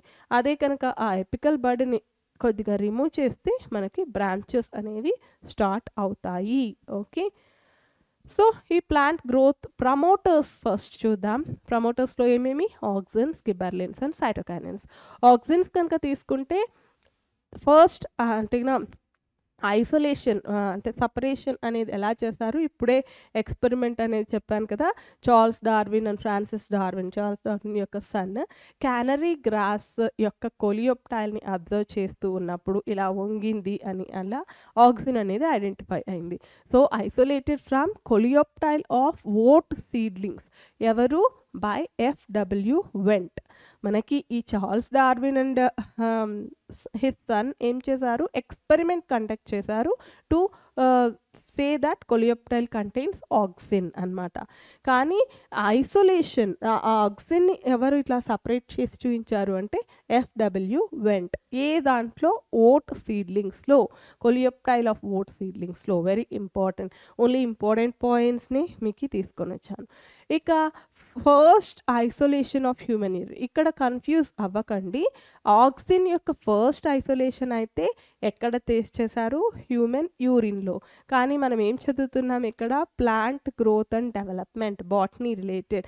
So first isolation అని అడిగితే హ్యూమన్ యూరిన్ కానీ ప్లాంట్స్లో ఏది అంటే so isolation is from the coleoptile of oat seedlings. ఎవరు చేశారు? By FW Went. కానీ కొలియోప్టైల్ ఆక్సిజన్ ఇస్తుంది అని ఎవరు చెప్పారు? కెనరీ గ్రాస్ చూస్తూ కొలియోప్ Charles Darwin and his son Francis Darwin. Okay so ఈ ఆక్సిన్స్ యొక్క ఫంక్షన్ ఏంటి అనేది మనం తీసుకుందాం. సో ఆక్సిన్స్ అనేవి it will initiates rooting first మనకి సీడ్ బాగా పెద్ద ప్లాంట్గా డెవలప్ అవ్వాలంటే రూట్ ఫార్మేషన్ ఈజ్ నెససరీ కదా. So initiate rooting in stem cuttings మీరు ఏదైనా స్టెమ్ కటింగ్ అంటే కొద్దిమంది ఏం చేస్తారు? ఏదైనా ప్లాంట్ బాగా కనిపిస్తూ ఉంటే కొద్దిగా స్టెమ్ తీసుకొని వస్తారు. ఆ కొద్దిగా స్టెమ్ తీసుకొని వచ్చి గార్డెనింగ్ ఎక్కువగా ఇంట్రెస్ట్ ఉందనుకోండి అలా స్టెమ్ని కట్ చేసి తెచ్చి నాటితే అప్పుడు ఏం జరుగుతుంది? మనకి రూట్స్ అనేవి ఫామ్ అవుతుంది. ఆ రూట్స్ ఎలా ఫామ్ అవుతాయి? Because of oxygen. సో ఇది ఎలా గుర్తుకు పెట్టుకోవాలి అంటే ఒక మొక్కని దొంగతనం చేసుకొని వచ్చినారు మీ గార్డెన్లో గ్రో చేయడానికి అన్నట్లు గుర్తుపెట్టుకోండి. ఆ మొక్కని ఇలా తుంచి అంటే స్టెమ్ని కట్ చేసి మీ గార్డెన్లో నాటితే ఫస్ట్ మనకేమొస్తుంది? రూటింగ్ అనేది జరుగుతుంది. So that is initiates rooting age చేస్తుంది? ఆక్సిజన్. ఆ తర్వాత రూటింగ్ తర్వాత స్టెమ్ అదంతా వచ్చిన తర్వాత ఫ్లవర్ రావాలి కదా అప్పుడే ప్లాంట్ అవుతుంది. So it will promotes flowering దేంట్లో అండ్ పైనాపిల్ అనే ఎగ్జాంపుల్ గుర్తుకు పెట్టుకోవాలి. ఆ తర్వాత promote abscission of older mature leaves and fruits. Abscission అంటే ఏంటి? ఇప్పుడు లీవ్స్ అండ్ ఫ్రూట్స్ ఓల్డ్ అయిపోయాయి అనుకోండి అవి ఇంకా పడిపోతూ ఉంటాయి కదా గార్డెన్లో. సో ఆ పడిపోవడానికి కారణం కూడా ఆక్సిజన్ అనమాట ఆ పడిపోయే ముందు యాక్చువల్గా ఆ ఓల్డర్ లీవ్స్ అనేవి ఏం చేస్తాయంటే వాటిలో ఉన్న న్యూట్రియంట్స్ని యంగర్ లీవ్స్కి ఇచ్చి వెళ్తాయి. సేమ్ హ్యూమన్ బీయింగ్స్ ఎలా వాళ్ళ ఆస్తిని పిల్లలకి పంచి వెళ్తారో అలానే ఓల్డర్ లీవ్స్ పడిపోయేటప్పుడు యాబ్సిషన్ అంటే ఇలా ఫాల్ అయ్యేటప్పుడు దాని న్యూట్రియంట్స్ని యంగర్ లీవ్స్కి ఇచ్చి వెళ్తాయి అన్నమాట so it will promotes abscission of older mature leaves and fruits. ఆ తర్వాత induces parthenocarpy what is parthenocarpy write down in the comment section. నేను ఎక్స్ప్లెయిన్ చేశాను సీడ్లెస్ ఫ్రూట్స్ అవన్నీ వస్తాయి కదా. So it is by tomatoes అన్నమాట. ఎగ్జాంపుల్ అనేది tomato గుర్తుకు పెట్టుకోవాలి.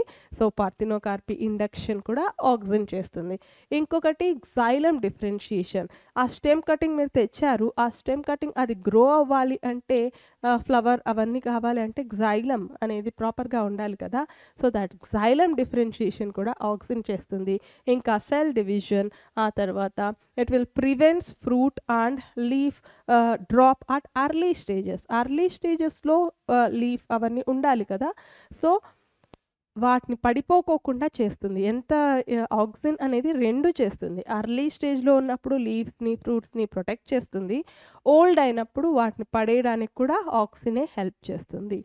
సో ఇంకా it is used as a herbicide to kill dicot weeds అన్నమాట. ఏవైనా వీడ్స్ అలా ఉన్నాయనుకోండి అన్వాంటెడ్ ప్లాంట్స్ వాటిని కిల్ చేయడానికి హెర్బిసైడ్గా కూడా ఈ ఆక్సిన్ని యూస్ చేస్తారు అన్నమాట. సో ఈ ఆక్సిన్ని కనుక తీసుకుంటే మొత్తం ఏం జరుగుతోంది ఇక్కడ? రూటింగ్ జరుగుతోంది. ఆ తర్వాత flowering leaf formation fruit formation ఇంకా మెచ్యూర్ లీవ్స్ యొక్క ఫాలింగ్ ఇవంతా. ఒక గార్డెన్ని గుర్తుపెట్టుకున్నారనుకోండి స్టెమ్ కటింగ్ చేసి తెచ్చి ఆ ప్రాసెస్ ఏమేం జరుగుతుంది ఆ స్టెమ్ కటింగ్ చేసి వస్తే మీకు ఇవన్నీ గుర్తుకుంటాయి. జైలం డిఫరెన్షియేషన్ ఇవన్నీ అన్నమాట. సో ఈ ఫంక్షన్స్ గుర్తుకు పెట్టుకోవాలి. ఆ తర్వాత this is the main important that is first isolated అనేది ఇవి రెండు ఇంపార్టెంట్ అనమాట ఇక ఆక్సిజన్స్ని కనుక తీసుకుంటే టూ టైప్స్ ఉంటాయి న్యాచురల్ అండ్ సింథటిక్ న్యాచురల్ అంటే ప్లాంట్సే ప్రొడ్యూస్ చేస్తాయి సింథటిక్ అంటే we will manufacture those oxygens so న్యాచురల్లో IAA which is nothing but indole expansion కూడా ఒక్కోసారి డైలెక్ట్ డైరెక్ట్గా అడుగుతారు. ఇండోల్ అసిటిక్ యాసిడ్ని మనం ఐఏఏ అని చెప్తాము. వేరాస్ ఐబిఏని మనం ఇండోల్ బ్యూటైరిక్ యాసిడ్ అని చెప్తాము.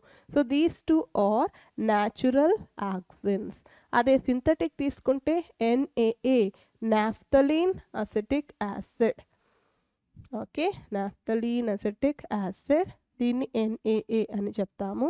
Two four D which is very important ఎందుకంటే ఇది ఒక హెర్బిసైడ్గా యూస్ చేస్తారు in order to kill the dicot weeds so two four D అంటే two four dichloro expansion is important.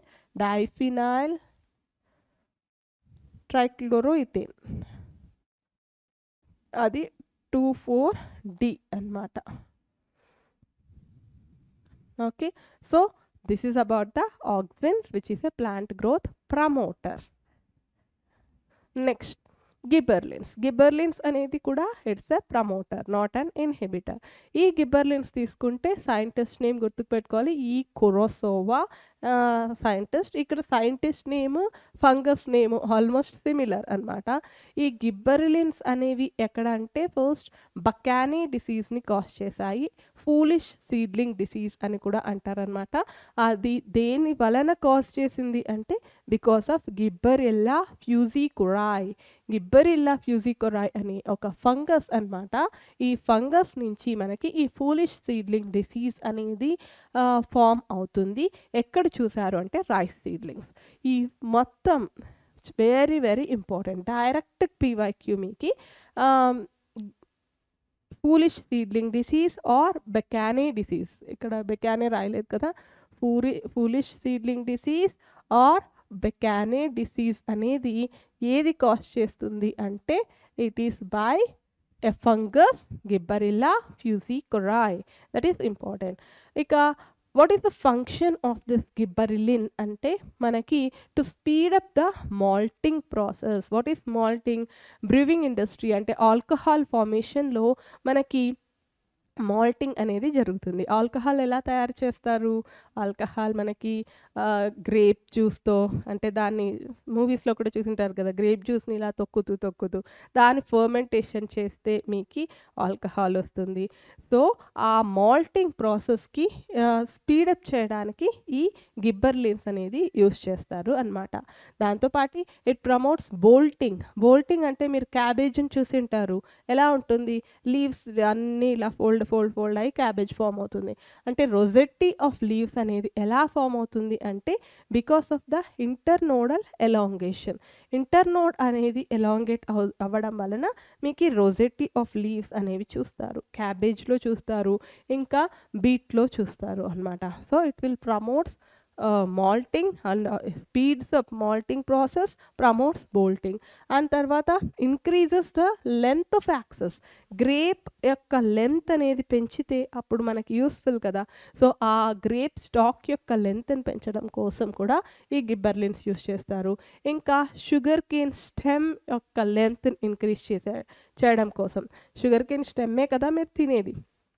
దాని ఇంక్రీస్కి గిబ్బర్లెన్స్ ఇంకా it causes fruits to elongate and improve its shape అనమాట ఫ్రూట్ యొక్క షేప్ ఇవన్నీ ఎలాంగేట్ చేసి proper shape ఇవ్వడానికి use చేస్తారు. హ్యాసన్స్ ద మెచ్యూరిటీ అంటే increase speeds up the reaction అనమాట అంటే త్వరగా మెచ్యూర్ అయ్యేటట్లు చేస్తారు. ఎందుకు? ఈల్డ్ ఎక్కువగా రావడం కోసం. సో అర్లీ సీడ్ ప్రొడక్షన్ ఇంకా డిలేస్ సెనిసన్స్ సో ఇది అంతా రిలేటెడ్ టు వాట్ మొత్తం రిలేటెడ్ టు ఫ్రూట్స్ ఇవన్నీ అన్నమాట ప్రొడక్షన్ అది. మాల్టింగ్ ప్రాసెస్కి బోల్టింగ్ ప్రాసెస్కి మాల్టింగ్ బోల్టింగ్ గిబ్బర్లిన్స్ అని గుర్తుపెట్టుకోండి ఇంకా మెచ్యూరిటీ ఇవన్నీ. లెంత్ని పెంచడానికి కూడా. సో ప్లాంట్స్లో ఫంజాయిలో కనుక తీసుకుంటే మోర్ దాన్ హండ్రెడ్ గిబ్బర్లిన్స్ అనేది మనం చూస్తామన్నమాట. లైక్ అందుకు దానికి పేర్లు ఎలా ఇచ్చారంటే GA one GA two GA three అలా ఇచ్చారు. గిబ్బర్లిక్ యాసిడ్ ఏది అంటే it is GA three direct PYQ again here GA three is the gibberellic acid not GA one GA two gibberellic acid అంటే GA three clear so that is about gibberellins. Then cytokinins ఇది కూడా promoter not an inhibitor so ఈ సైటోకైనిన్స్ని తీసుకుంటే first F Skoog and his coworker అనమాట వీళ్ళు internodal segments of tobacco స్టెమ్ని తీసుకున్నారు. అక్కడ క్యాలస్ని తీసుకున్నారు. What is callus callus is nothing but mass of and differentiated cells అనమాట మనం టిష్యూ కల్చర్లో తెలుసుకున్నాం కదా. ఒక ఎక్స్ప్లాంట్ని తీసుకొని దాన్ని ఆర్టిఫిషియల్ న్యూట్రియంట్ మీడియంలో పెడితే అప్పుడు మనకి అది గ్రో అవుతుంది. మాస్ ఆఫ్ అన్డిఫరెన్షియేటెడ్ సెల్స్ అనే ఇస్తుంది. That each is nothing but callus so ఆ క్యాలస్ అనేది ప్రొలిఫరేషన్ అంటే నెక్స్ట్ డిఫరెన్షియేషన్ ప్రొలిఫరేషన్ ఎలా జరుగుతుంది అంటే అలోన్గా సైటోకైనిన్స్ ఇస్తే జరగదు.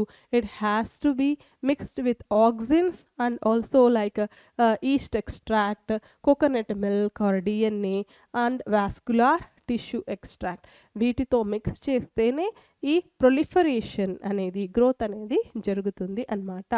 ఇక ఫంక్షన్ విషయానికి వస్తే సైటోకైనిన్స్ దేనికి యూస్ చేస్తారు అంటే help to produce new leaves cytokinins is for shoot system అట్లా గుర్తు కూడా పెట్టుకోవచ్చు మీరు అనమాట oxygen is for root system అని కూడా గుర్తుకు పెట్టుకోవచ్చు. సైటోకైనిన్స్ షూట్ అలా.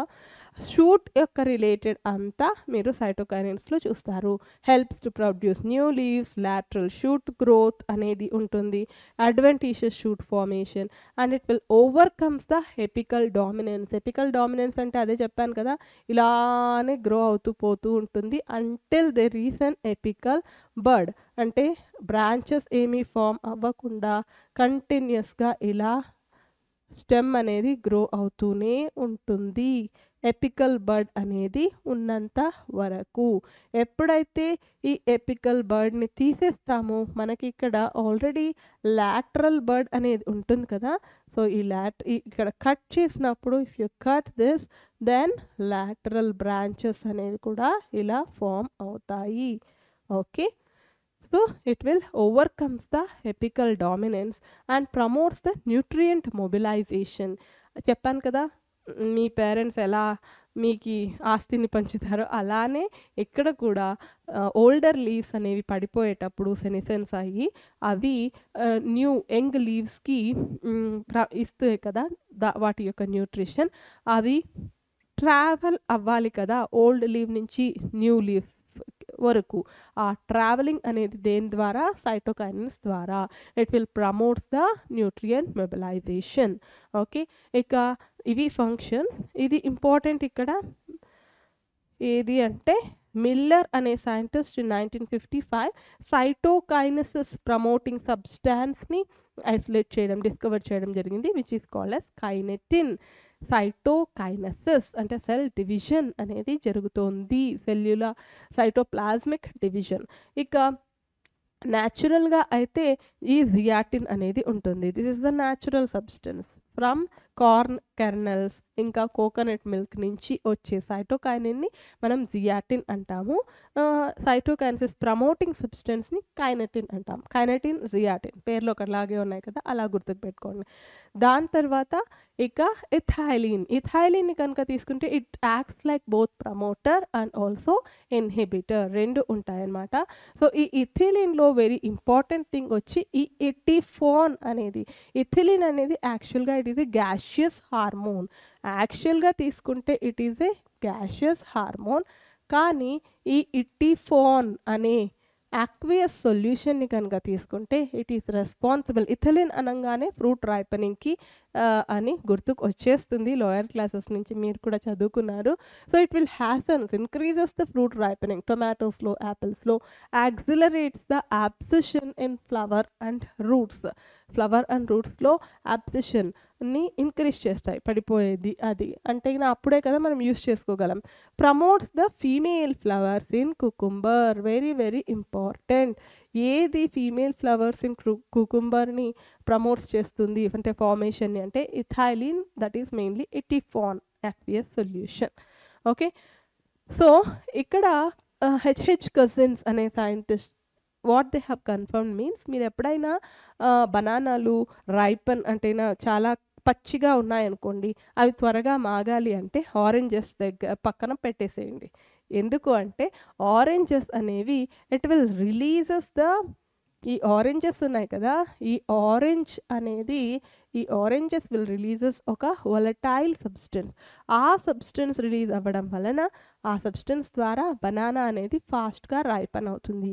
అది which is nothing but ethylene అనమాట సో అరటిపండు తొందరగా మాగాలి పచ్చిగా ఉంది అంటే ఆరెంజెస్ తెచ్చి దాని పక్కన పెట్టేయండి త్వరగా మాగిపోతాయి.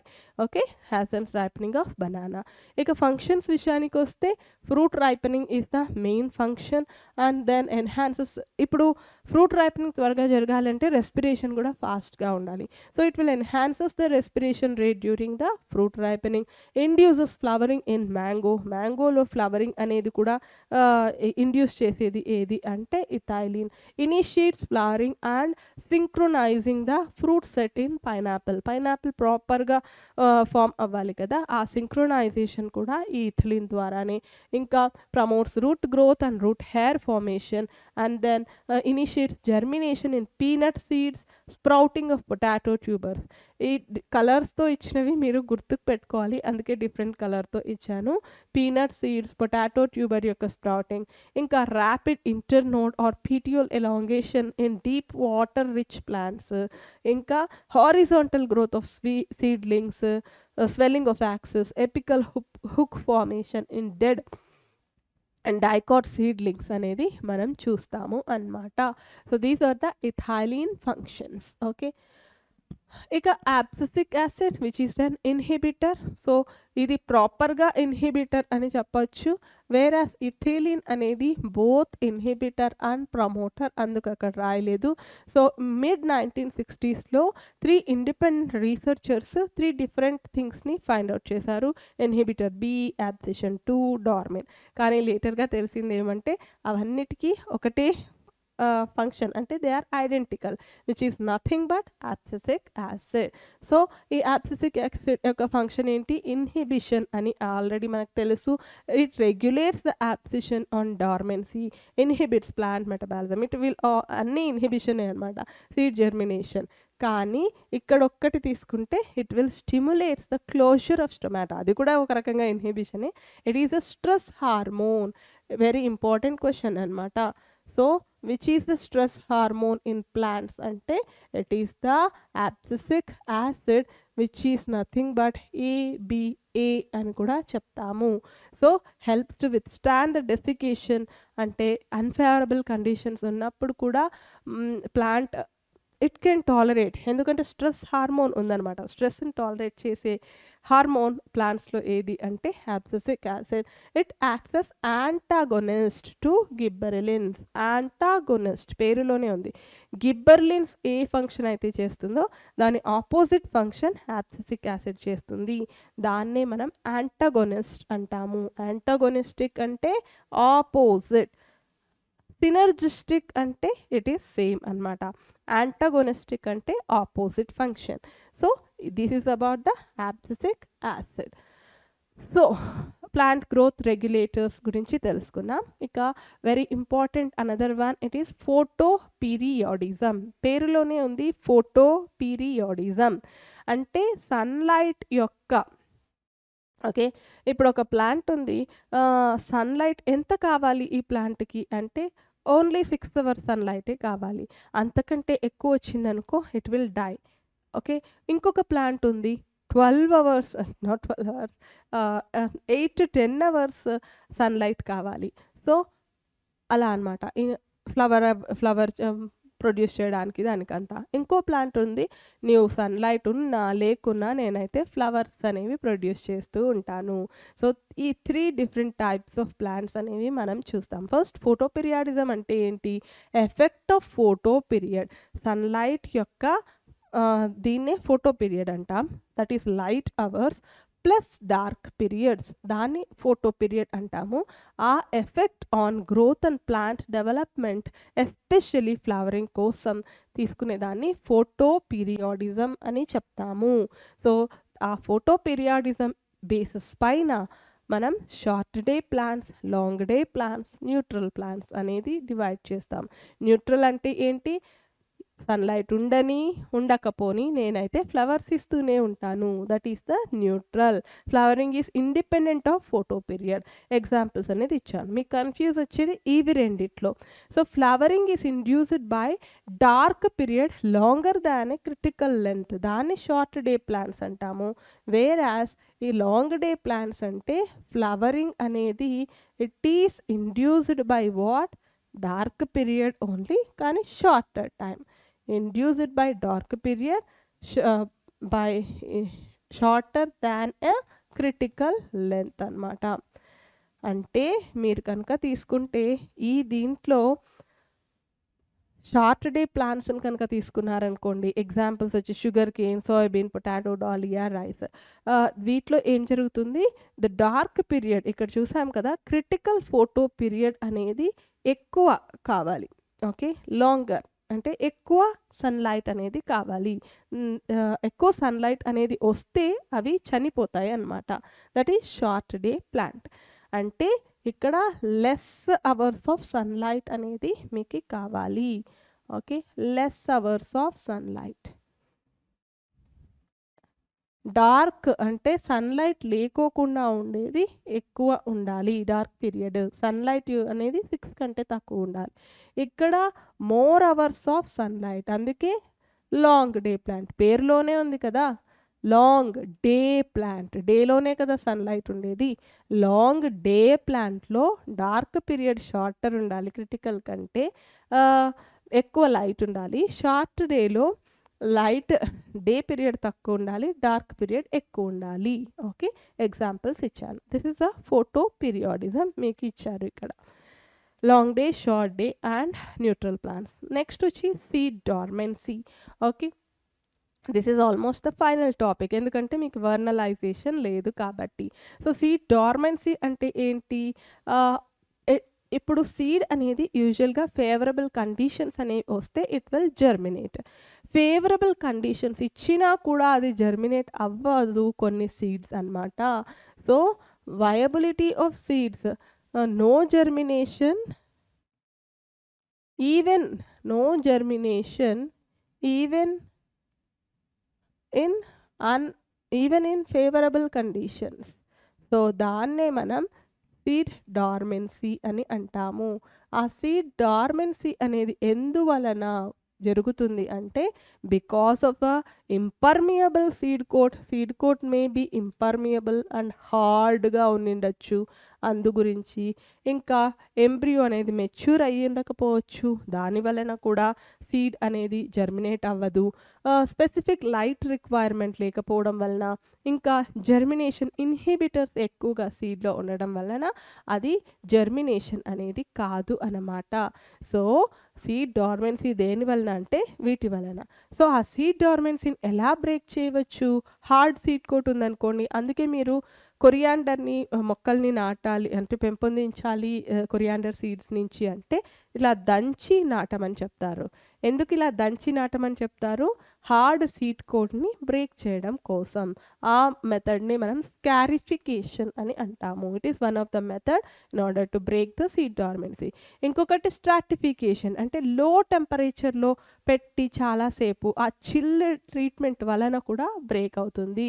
సో మాయిస్ట్ కండిషన్స్ అండర్లో టెంపరేచర్ దాని స్ట్రాటిఫికేషన్ స్ట్రాటిఫికేషన్ మీకు సెకండ్ ఇయర్లో కూడా వస్తుంది. That is different and this stratification is different next light exposure and then phytochromes అంటే some substances which breaks the dormancy organic substances అనమాట సో ఇవి ఇవ్వాలి.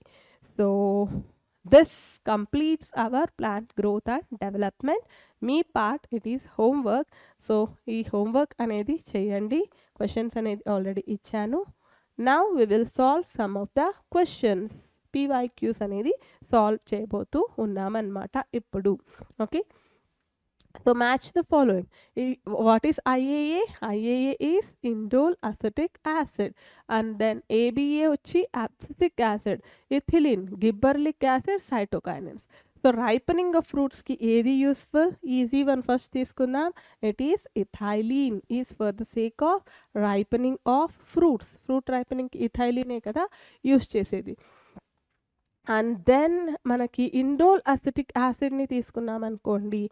సో ఇండోల్ అసిటిక్ యాసిడ్ మనం చూసాం కదా? Two four D two four D ఎందుకు use చేస్తాం? As a హెర్బిసైడ్గా యూస్ చేస్తాం కదా? So two for the sake of weed free lawns. Abscisic acid అనే దేనికి యూస్ చేస్తాం మనము? Abscisic acid for the closure of stomata. It is an inhibitor కదా దాని గురించి.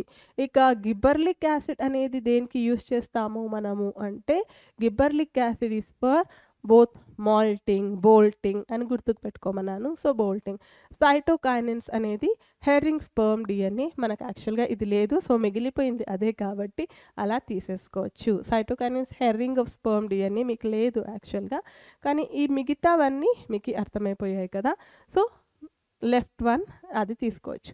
సో మన ఆన్సర్ వచ్చి A four B three C five yes this will be our answer okay next one apples are generally wrapped in waxed paper ఎందుకు యాపిల్స్ని వ్యాక్స్డ్ పేపర్లో wrap చేస్తారు అని అడిగారు?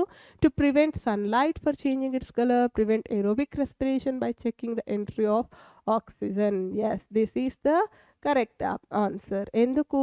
అంటే ethylene formation due to injury కాదు make apples look attractive wrapped ఎందుకు చేస్తారంటే ఏరోబిక్ రెస్పిరేషన్ని ప్రివెంట్ చేయడం కోసం లేకుంటే అవి కలర్ అనేది చేంజ్ అయిపోతాయి అన్నమాట. Next growth can be measure in various ways which of these can be used as parameters ఏది మీరు పారామీటర్గా తీసుకోవచ్చు? గ్రోత్ మెజర్కి అంటే increase in cell number yes you can take increase in cell size increase in length and weight so మన answer వచ్చి all of the above మొత్తం తీసుకోవచ్చు అన్నమాట. Next the term synergistic action of hormones refers to చెప్పాను కదా antagonistic అంటే opposite synergistic అంటే same not an opposite when two hormones act together but bring out opposite అన్నారు కాబట్టి no when two hormones act together and contribute to the same function yes same function అన్నారు కాబట్టి manam we can consider. When one hormone affects more than one function no. When many hormones bring about any function no. Okay next one. Plasticity in plant growth means that. So plasticity ante enti? It is nothing but different types of leaves ni produce cheyadam based upon life phase and also the uh, environmental condition. So, plasticity in plant growth means plant roots are extensible, plant development is dependent. Yes, it is dependent kada on what environmental conditions or life phases. So, adi తీసుకోవచ్చు stems can extend none of the above. So, the second one. Next, to increase sugar production in sugar canes, they are sprayed with. So, stem elongation దేంట్లో జరుగుతుంది it is by gibberellins గిబ్బర్లిన్స్లోనే కదా మనకి malting bolting stem elongation internodal elongation అన్నీ జరిగేది. So it is by that next abscisic acid acts antagonistic to gibberellic acid మనం already ఇది చెప్పాము. To the gibberellic acid next yes so we have completed even the questions. So this completes our full uh, 11th syllabus. In Abhiyan batch. ఒక్క part left over అయ్యింది. అది ఎందుకంటే మీకు కొత్తగా include చేశారు. మీకు అది ప్లాంట్ ఫ్యామిలీస్ ఆ ప్లాంట్ ఫ్యామిలీస్ నేను చెప్పేస్తే మీ లెవెన్త్ సిలబస్ అనేది కంప్లీట్ అయిపోతుంది. బట్ యాక్చువల్గా eleventh syllabus is completed so బాగా చదువుకోండి టైం వేస్ట్ చేయకండి.